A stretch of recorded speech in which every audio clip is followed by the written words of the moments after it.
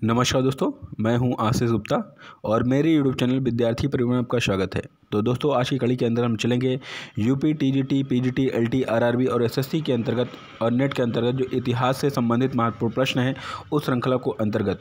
तो दोस्तों, आज की कड़ी के अंदर हम चलेंगे एन पाठ्यक्रम पर आधारित हमारे यूरोप में राष्ट्रवाद से संबंधित जो अब तक आपके प्रतियोगी परीक्षाओं में प्रश्न पूछे गए हैं, उन प्रश्नों को इस श्रृंखला के अंतर्गत। तो अगर आप चैनल पर नए हैं तो चैनल को सब्सक्राइब कर लीजिए और बेल आइकन पर क्लिक कर लीजिए ताकि आपको सारे नोटिफिकेशन मिलते रहे। तो चलिए दोस्तों, शुरू करते हैं आज का हमारा पहला प्रश्न।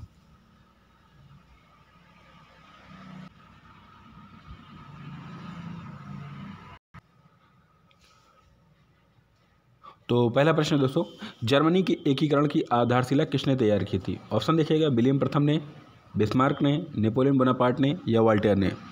तो जल्दी से दोस्तों आंसर को गेस करिए वीडियो को पुश करके आप आंसर गेस कर सकते हैं, उसका आंसर देख सकते हैं। तो यहाँ प्रश्न दोस्तों पूछा जा रहा है कि जर्मनी की एकीकरण की आधारशिला किसने तैयार की थी? तो दोस्तों जो जर्मनी की एकीकरण की आधारशिला तैयार की थी, वो तैयार की थी नेपोलियन बोनापार्ट ने। किसने की तैयार की थी दोस्तों? नेपोलियन बोनापार्ट ने। तो आपका ऑप्शन नंबर सी यहाँ पे करेक्ट है। आगे चलते हैं दोस्तों, अगले क्वेश्चन की तरफ़। अगला क्वेश्चन देखिएगा दोस्तों, यूरोपीय सभ्यता का पलना किसे कहा जाता है? यूरोपीय सभ्यता का पलना किसे कहा जाता है? ऑप्शन देखिएगा इटली को फ्रांस को हंगरी को या यूनान को। तो जल्दी से गेस करिए दोस्तों, यूरोपीय सभ्यता का पलना किसे कहते हैं? ये आपके एग्जामों में कई बार पूछा गया दोस्तों प्रश्न। तो कहा जाता है दोस्तों यूनान को। किसको कहा जाता है? यूनान को। ऑप्शन नंबर डी यहाँ पे करेक्ट है। आगे चलते हैं दोस्तों, अगले क्वेश्चन की तरफ़। अगला प्रश्न देखिए दोस्तों, फ्रैंकफर्ट की संधि कब हुई थी? फ्रैंकफर्ट की संधि कब हुई थी? अट्ठारह सौ ईस्वी में अट्ठारह सौ ईस्वी में अट्ठारह सौ सत्तर ईस्वी में या अठारह सौ इकहत्तर ईस्वी में? तो जल्दी से गेस करिए दोस्तों, फ्रैंकफर्ट की संधि कब हुई थी? तो दोस्तों, जो फ्रैंकफर्ट की संधि हुई थी, वो हुई थी अट्ठारह में, वर्ष अठारह सौ इकहत्तर में फ्रैंकफर्ट की संधि हुई थी। इसी संधि के बाद दोस्तों, जर्मनी के एकीकरण का पूर्ण हुआ था। तो आपको ये याद रखना है दोस्तों। आगे चलते हैं दोस्तों, अगले क्वेश्चन की तरफ़। अगर आपको वीडियो अच्छा लग रहा है तो इसे इसे लाइक कर दीजिए और अपने दोस्तों को शेयर कर दीजिए।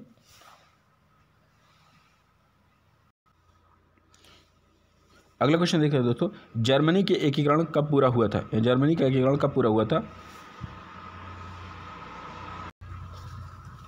ऑप्शन देखिएगा, वर्ष अठारह में, वर्ष 1819 में, वर्ष अठारह में या वर्ष अठारह इकहत्तर में।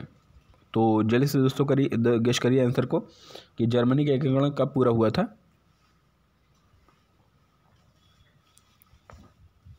तो दोस्तों अभी हमने हम लोगों ने देखा कि जो फ्रैंकफर्ट की संधि हुई थी वो कब हुई थी? अठारह सौ इकहत्तर में। तो यहाँ पर भी दोस्तों याद रखना है कि अठारह सौ इकहत्तर में ही जर्मनी के एकीकरण का, का कार्य भी पूरा हो चुका था क्योंकि उस संधि के बाद ही इसका एकीकरण हुआ था। तो आपका ऑप्शन नंबर डी यहाँ पे करेक्ट है। जो जर्मनी का एकीकरण पूरा हुआ था वो हुआ था अट्ठारह में। ठीक है दोस्तों आप ध्यान रखिएगा, या आप इसे नोट डाउन कर सकते हैं। आगे चलते हैं दोस्तों, अगले क्वेश्चन की तरफ़। अगला क्वेश्चन देखिए दोस्तों, जर्मनी के एकीकरण के बाद चांसलर कौन बना था? विलियम प्रथम ने, विलियम प्रथम, बिस्मार्क, नेपोलियन बोनापार्ट या वाल्टेयर?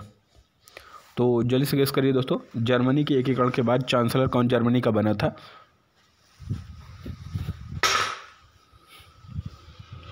तो दोस्तों बना था वो बिस्मार्क ठीक है दोस्तों बिस्मार्क ठीक है, जर्मनी के एकीकरण बना था तो आप सभी को पता होना चाहिए दोस्तों, जो बिस्मार्क था, एक कूटनीतिक व्यक्ति था। ठीक है ये प्रश्न आपसे पूछा गया है आपके टी डी टी के अंतर्गत।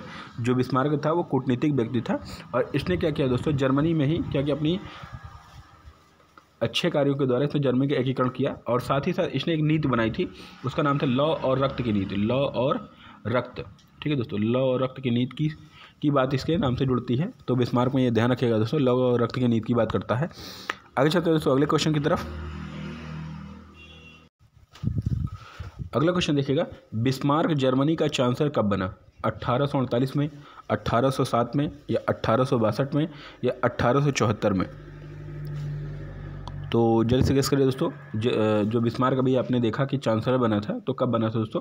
वो बना था अठारह ईस्वी में ठीक है दोस्तों बिस्मार्क जर्मनी का चांसलर बना था। तो आपको ऑप्शन नंबर सी यहाँ पे करेक्ट है दोस्तों, याद रखिएगा। आगे चलते दोस्तों, अगले क्वेश्चन की तरफ़। अगला क्वेश्चन देखिए दोस्तों, वर्ष वर्ष सत्रह में फ्रांसीसी क्रांति किसके शासनकाल में हुई थी? यानी दोस्तों, जो सत्रह की क्रांति हुई थी, ठीक है, चार जुलाई उन्नीस को क्रांति हुई थी तो ये किसके शासनकाल में हुई बताना है दोस्तों? लुई ग्यारहवा के शासनकाल में, या लुई बारहवा के शासनकाल में, या लुई सोलहवा के, या नेपोलियन बोनापार्ट के? तो जैसे किसके लिए दोस्तों, किसके शासनकाल में हुई थी?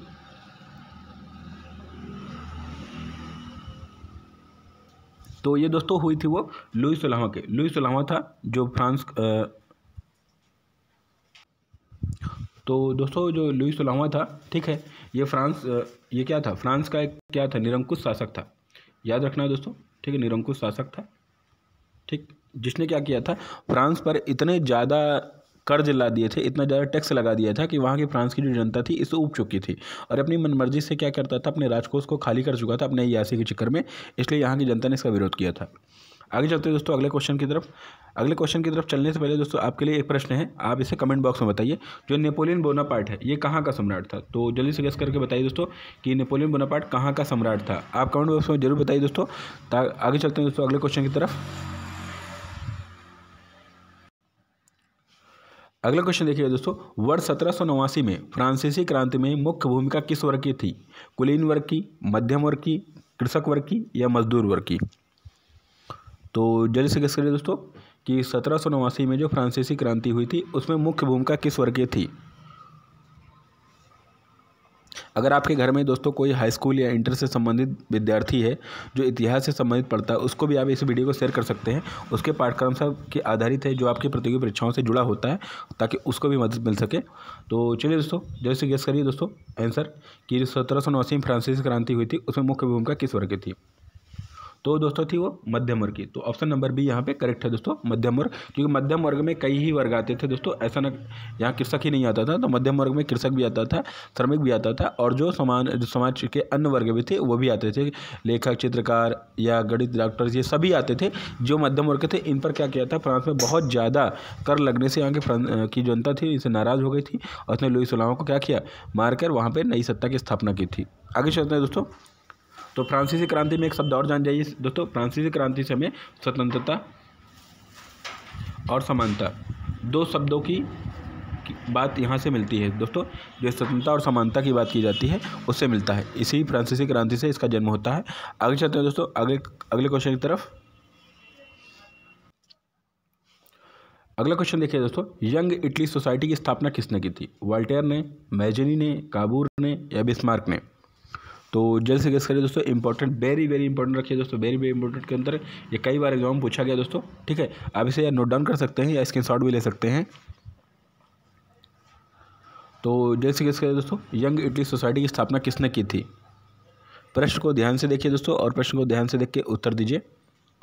तो दोस्तों, जो यंग इटली या युवा युवा इटली भी कहा जाता है दोस्तों, यूथ इटली भी कहा जाता है यूथ भी कहा जाता है तो याद रखिए दोस्तों, ठीक है, युद्ध भी कहा जाता है तो उसको याद रखिएगा। तो यहाँ पर जो आंसर आपका जाता है ऑप्शन नंबर बी यहाँ पे करेक्ट है दोस्तों है मैजनी जो था यंग इटली सोसाइटी की स्थापना इसने की थी। आगे चलते हैं दोस्तों, अगले क्वेश्चन की तरफ़। अगला क्वेश्चन दोस्तों वेरी वेरी इंपॉर्टेंट ये भी कई बार एग्ज़ाम पूछा गया दोस्तों, ठीक है इंपॉर्टेंट के अंतर रखिएगा दोस्तों। तो यहाँ प्रश्न क्या पूछा जा रहा है, बियाने संधि कब हुई थी? वर्ष 1805 में, वर्ष 1810 में, वर्ष 1815 में या वर्ष 1918 में। तो जल्दी से गेस कर लीजिए दोस्तों, फटाफट कि जो बियाना की संधि हुई थी, वो कब हुई थी?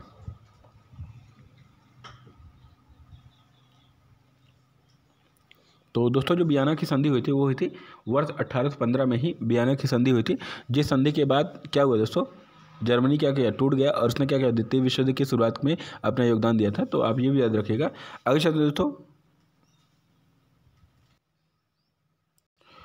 अगला क्वेश्चन देखिए देखो दोस्तों, नेपोलियन को किन देशों ने मिलकर हराया था? ठीक है, नेपोलियन बोनापार्ट जो था, उसको किन देशों ने मिलकर हराया था? ब्रिटेन, ऑस्ट्रिया, रूस और प्रासा उपयुक्त सभी।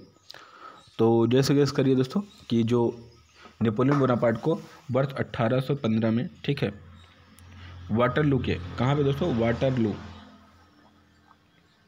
वाटर लू के मैदान में, ठीक है दोस्तों? याद रखिएगा। वाटर लू के मैदान में, जैसे हम लोग कहते हैं पानीपत, ये सब कहते हैं ना तो वाटर लू के मैदान में, ठीक है दोस्तों? किन किन देशों ने मिलकर हराया था? ब्रिटेन, ऑस्ट्रिया, रूस और प्राशा तो दोस्तों यहाँ ऑप्शन नंबर डी यहाँ पे करेक्ट है। ये सभी थे ब्रिटेन भी था ऑस्ट्रिया भी था रूस भी था और प्राशा भी थे, जिसने नेपोलियन बोनापार्ट को क्या किया था? वाटरलू के मैदान में हराया था। तो आगे चलते हैं दोस्तों, आगे, अगले क्वेश्चन की तरफ़। अगर आपने अभी तक चैनल को सब्सक्राइब नहीं किया तो चैनल को सब्सक्राइब कर लीजिए और बेल बटन क्लिक कर लीजिए। और आपने वीडियो अच्छा लग रहा है तो जैसे एक लाइक कर दीजिए ताकि हम लोग की जो मेहनत है वो आप लोग की से इसका परिणाम मिल सके। तो चलिए दोस्तों, आगे चलते हैं।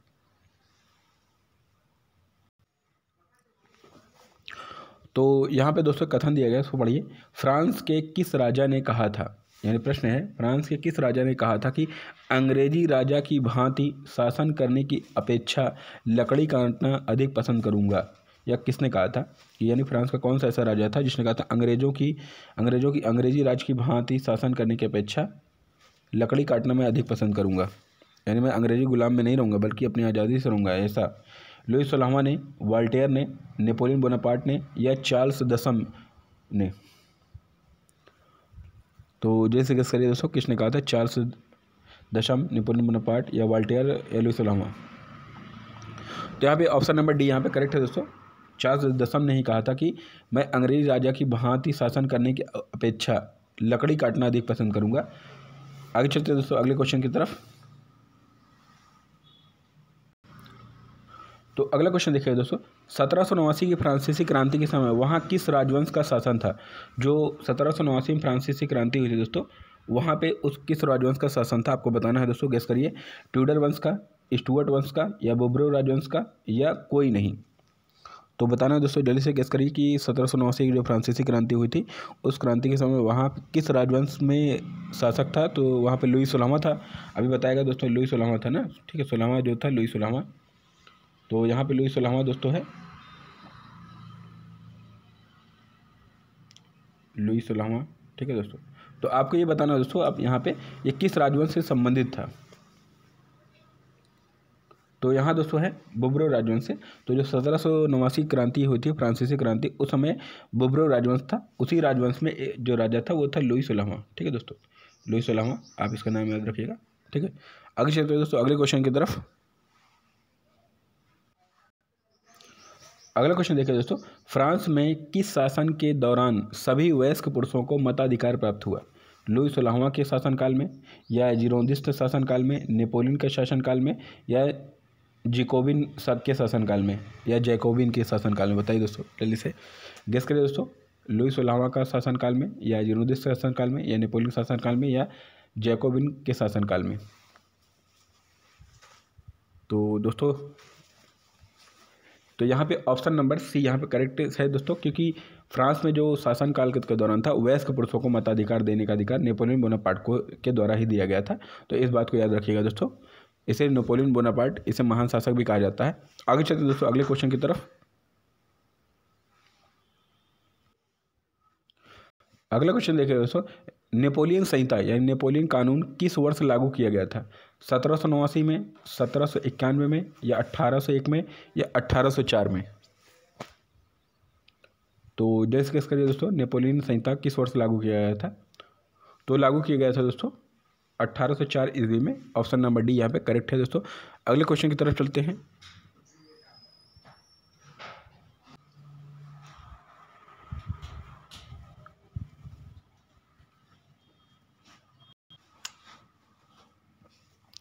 अगला क्वेश्चन देखिए दोस्तों, प्रासा का शासक कौन था? Napoleon Bonaparte, Napoleon third, Victor Emmanuel या विलियम प्रथम?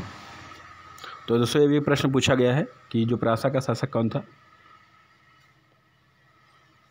तो था दोस्तों, ऑप्शन नंबर डी, यहाँ पे विलियम प्रथम ही प्रासा का शासक था। तो आगे चलते दोस्तों, अगले क्वेश्चन की तरफ़। अगला क्वेश्चन देखिएगा दोस्तों very very important very very important रखिएगा, ठीक है दोस्तों? प्रश्न पूछा जा रहा है, यूरोप का मरीज़ किसे कहा जाता था? रूस को, जर्मनी को, तुर्की को या यूनान को? तो बताना दोस्तों, यूरोप का मरीज़ किसे कहा जाता था? तो जैसे करें दोस्तों, यूरोप का मरीज़ किसे कहा जाता था? तो कहा जाता था दोस्तों वो तुर्की को। तुर्की को ही यूरोप का मरीज़ कहा जाता था। ठीक है दोस्तों, आगे चलते हैं। पहले इसको दोस्तों टर्की भी कहा जाता था तो कहीं कहीं टर्की लिखा रहेगा तो घबराइएगा नहीं। टर्की भी कहा जाता था, किंतु यहाँ पे जो यूरोप का मरीज़ कहा जाएगा, वो तुर्की को ही कहा जाएगा। टर्की नहीं लिखा रहता, पर लिखा रहता है तो आप टर्की भी ले सकते हैं। वहाँ तुर्की पर नहीं लिखा रहेगा, ये भी याद रखेगा आगे चलते हैं दोस्तों, अगले क्वेश्चन की तरफ़। अगला क्वेश्चन देखिए दोस्तों मैटरनिक कौन था? ऑस्ट्रिया का चांसलर था, या प्रासा का चांसलर था, या फ्रांस का सम्राट था, या रूस का जार था। यहाँ पर जार कर लीजिए, ठीक है दोस्तों? क्योंकि रूस में जो राजा होता था, उसे जार कहते थे, ठीक है दोस्तों? रूस का जो भी राजा होता था, उसे जार कहते थे। राजोर नहीं, जार है। तो बताइए दोस्तों, मैटरनिक कौन था? ऑस्ट्रिया का चांसलर था, या प्रासा का चांसलर था, या फ्रांस का, या रूस का? तो दोस्तों, जो मैटरनिक था उस, वो कहाँ का था दोस्तों? वो ऑस्ट्रेलिया का चांसलर था। तो ऑप्शन नंबर ए यहाँ पे करेक्ट है दोस्तों। याद रखिएगा दोस्तों। आगे चलते दोस्तों अगले क्वेश्चन की तरफ़। अगला क्वेश्चन देखिए दोस्तों। लाल कुर्ती नामक संस्था की स्थापना किसने की थी? यानी लाल कुर्ती नामक संस्था की गठन किसने किया था? बिस्मार्क ने, काबूर ने, मैजेनी ने या गैरवेल्डी ने? तो दोस्तों जल्दी बताइए कि लाल कुर्ती नामक संगठन की स्थापना किसने की थी? या गठन किसने किया था आपको बताना है। दोस्तों गैस करिए जल्दी से फटाफट। अगर आप ऐसे ही वीडियो देखना चाहते हैं इतिहास के अंदर तो आप हमारे, ठीक है दोस्तों, नीचे दिए गए डिस्क्रिप्शन बॉक्स में जाइए और वहाँ पर सारे वीडियो आपके इतिहास के अंतर्गत जो प्राचीन भारत से है, मध्यकालीन भारत से है, और आपके आधुनिक भारत से अंतर्गत, श्रृंखला के अंतर्गत आप वीडियो देख सकते हैं। आप कोई प्रतियोगी परीक्षा तैयारी करते हैं तो उसके नीचे आप उसमें कमेंट में कर सकते हैं, उन प्रश्नों को आपको इस वीडियो के अंतर्गत दिया जाएगा। अगर आपको इससे संबंधित कोई भी अन्य वीडियो चाहिए तो आप इस कमेंट बॉक्स में ज़रूर बताइए दोस्तों। तो आप प्रश्न बताइए, प्रश्न देखिए दोस्तों, कि जो लाल कुर्ती नामक संगठन की स्थापना थी, वो गैरवेल्डी ने की थी। ठीक है दोस्तों, गैरबल्डी ने ही लाल कुर्ती नामक संगठन की स्थापना की थी। यह भी दोस्तों एग्ज़ाम में पूछा गया है, प्रश्न इंपॉर्टेंट है, आप इसे नोट डाउन कर सकते हैं या स्क्रीन शॉट ले सकते हैं। आगे चलते हैं दोस्तों, अगले क्वेश्चन की तरफ़। अगला क्वेश्चन दोस्तों, राष्ट्रवाद की अवधारणा का जन्म किस घटना से माना जाता है? यानी जो राष्ट्रवाद के नेशनलिज नेशनलवाद कह सकते हैं, राष्ट्रवाद की अवधारणा का जन्म किस घटना से माना जाता है? धर्म सुधार आंदोलन से गौरवपूर्ण क्रांति जो सोलह सौ अट्ठासी में हुई थी, या फ्रांस फ्रांस की क्रांति सत्रह सौ उनासी में हुई थी, या स्वतंत्रता संग्राम जो अठारह सत्तावन में हुआ था। तो जल्द से गैस करिए दोस्तों कि जो राष्ट्रवाद की अवधारणा का जन्म हुआ था तो कब हुआ था? यह भी इम्पोर्टेंट है दोस्तों, कई बार एग्ज़ाम पूछे गए हैं। तो दोस्तों ये हुआ था सत्रह सौ नवासी की जो फ्रांसीसी क्रांति हुई थी, उसी से ही राष्ट्रवाद की जो अवधारणा से विचारधाराएँ थी, उसका जन्म होता है। और ये सत्रह सौ नवासी के बाद से ही भारत में भी इसकी, इसको देखा जाता है कि उन्नीस सौ हम लोग देखते हैं, उन्नीस सौ सैंतालीस के बाद हम लोग भारत में देखते हैं, राष्ट्रवाद का बहुत तेज़ी से उदय हुआ था।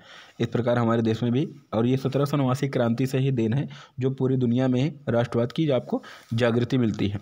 आगे चलते हैं दोस्तों, अगले क्वेश्चन की तरफ़। अगला क्वेश्चन देखिए दोस्तों, अभी हमने पीछे वीडियो में इसके बारे में डिस्कस किया था रक्त और लॉ की नीति। रक्त और लॉ की नीति किसने अपनाई थी? बिस्मार्क ने, मैजनी ने, विलियम प्रथम ने या गैरवेल्डी ने? तो जल्द से गेस करिए दोस्तों कि जो रक्त और लॉ की नीति को इसने अपनाई थी? तो दोस्तों, अपनाई थी वो बिस्मार्क ने। ठीक है दोस्तों ऑप्शन नंबर ए यहाँ पे करेक्ट है दोस्तों। आप एक आप कमेंट बॉक्स में दूसरे क्वेश्चन का आंसर भी दे दीजिए दोस्तों। रक्त और लौ की नीति कौन से सल्तनत कालीन शासक ने अपनाई थी? ठीक है दोस्तों, कौन सा ऐसा एक सल्तनत कालीन शासक था जिसने रक्त और लौ की नीति भी अपनाई थी? आप ज़रूर कमेंट बॉक्स में बताइए दोस्तों, देखते हैं कितने लोग कमेंट बॉक्स में बताते हैं।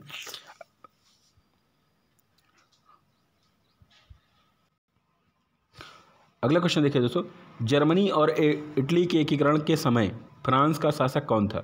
नेपोलियन बोनापार्ट, नेपोलियन थर्ड, या विक्टर एमनुअल, या विलियम प्रथम?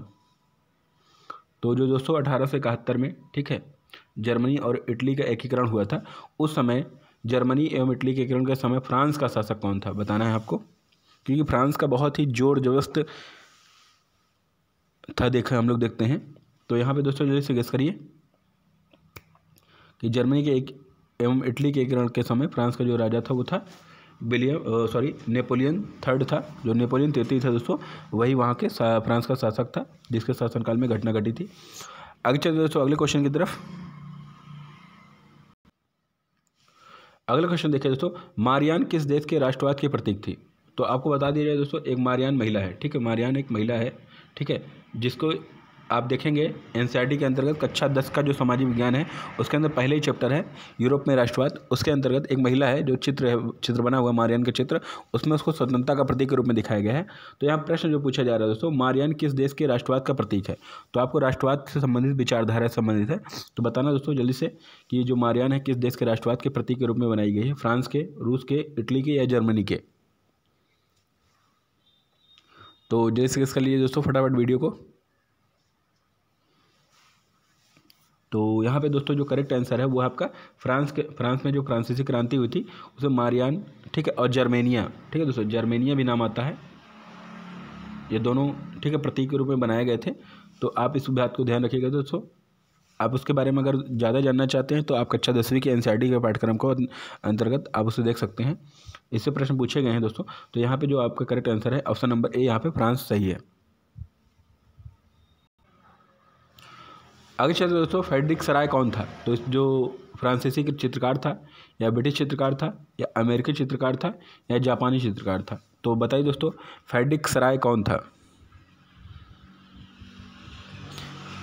तो फेडरिक सराय कौन था दोस्तों? जल्दी से गेस करिए फटाफट।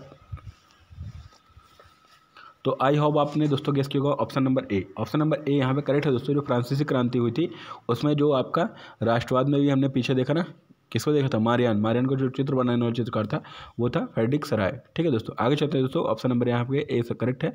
अगले क्वेश्चन की तरफ़ चलते हैं।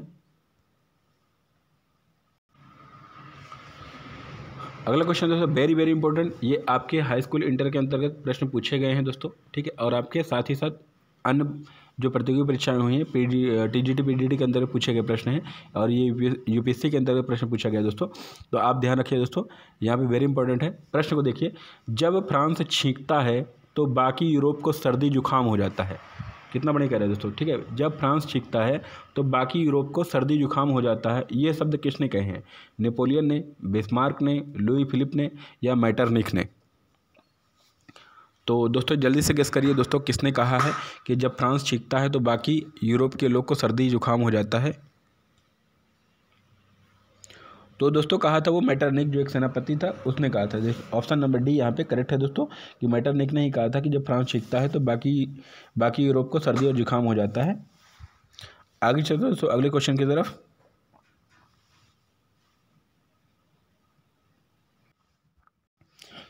चलिए दोस्तों, अगला देखिएगा, जर्मेनिया रूपक है। यानी जर्मेनिया जो चित्र था, किसका रूपक था? फ्रांसीसी गणराज्य का, ब्रिटिश राष्ट्रवाद का, या जर्मन राष्ट्रवाद का, या जापानी राष्ट्रवाद का? तभी हमने पीछे डिस्कस किया था, इसके बारे में दोस्तों दो चित्र बने थे। तो जो एक चित्र आपने देखा मारियाना का, दूसरा देखा जर्मेनिया का। तो जर्मेनिया भी किससे संबंधित है दोस्तों? जर्मन राष्ट्रवाद से। ठीक है दोस्तों? वो जर्मन के राष्ट्रवाद से संबंधित है। इस बात को याद रखना है दोस्तों। ऑप्शन नंबर सी यहाँ पे करेक्ट है दोस्तों, कि जर्मेनिया रूपक किसका है? वो जर्मन राष्ट्रवाद का है। आगे चलते दोस्तों, अगले क्वेश्चन की तरफ़। अगला क्वेश्चन देखिए दोस्तों, बियाना सम्मेलन, यानी बियाना संधि सम्मेलन कह सकते हैं। बियाना सम्मेलन जो अट्ठाईस पंद्रह की मेजबानी किसने की थी?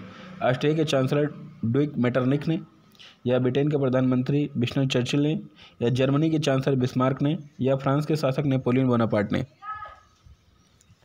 तो जैसे बताइए दोस्तों, जो बियाना की संधि या सम्मेलन हुआ था अट्ठाईस पंद्रह में, किसकी मेजबानी किसने की थी? इंपॉर्टेंट के अंतर्गत क्वेश्चन है दोस्तों, फटाफट आप गेस करिए दोस्तों, फटाफट आंसर दीजिए।